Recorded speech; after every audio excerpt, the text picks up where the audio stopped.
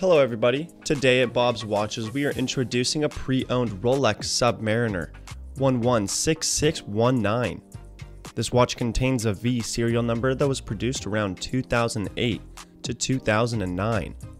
The characteristics include an 18 karat white gold oyster bracelet with a glide lock clasp.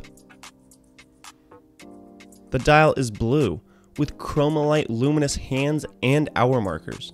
This watch contains an automatic 3135 movement with a 40mm 18 karat white gold case with an inner reflector ring engraved with the serial number.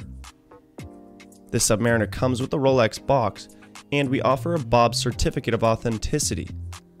As all watches we sell, this watch comes with a 3-day satisfaction guarantee and a 1-year warranty. You can purchase this watch by clicking the box in this video or by searching for Bob's Watches 116619 in Google. And as always, be sure to like and subscribe for future videos.